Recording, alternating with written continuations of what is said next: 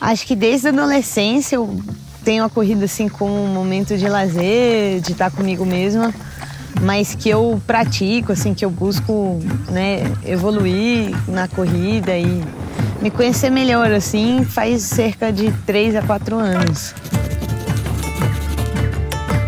É, me chamo Patrícia, algumas pessoas me conhecem como Pat Cerrado. moro em São Jorge há 12 anos, trabalho como guia e também gosto de correr em trilhas, né? E eu costumo, sim, eu sou uma pessoa que respira trilha, então quando eu não tô na trilha, eu tô pensando em trilha. Chegando no cantinho aqui onde eu me escondo um pouquinho. Aqui tem muito resquício da atividade de garimpeiro, assim. E eu ando no quintal aqui e chuto cristal. Então fui pegando, assim, remanejando eles dentro do meu quintal, né?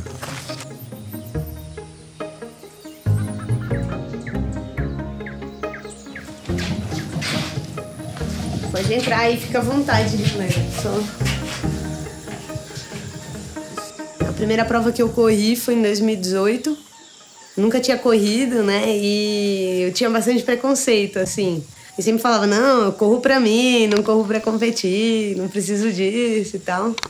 Aí me convenceram a participar, ganhei a inscrição da prova.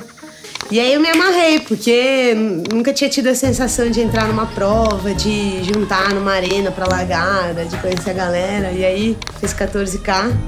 E aí ganhei a prova, bati o recorde da prova feminino. Acho que deu uma sensação muito boa, assim, de tipo, nossa, agora eu vou, vou treinar, vou evoluir. Comecei a gostar de competir, assim. Eu comecei a guiar quando eu mudei para São Jorge. Aí comecei a aprender as trilhas, aprender sobre o cerrado. E comecei a guiar, mas eu achei que ia ser uma, um trampo pontual, assim, cara, vou fazer o curso que eu mudou minha vida, assim. Muitas vezes a gente pensa em corrida, em esporte, primeiramente pode vir uma ideia de saúde, de você estar tá querendo se cuidar, mas junto com a corrida a gente desperta outros sentimentos, assim, e pra mim, uma coisa que é muito bom é a autoconfiança. Né?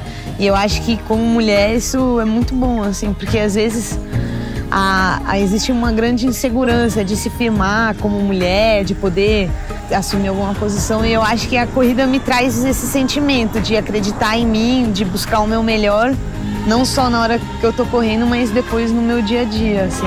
Bora, Vitória!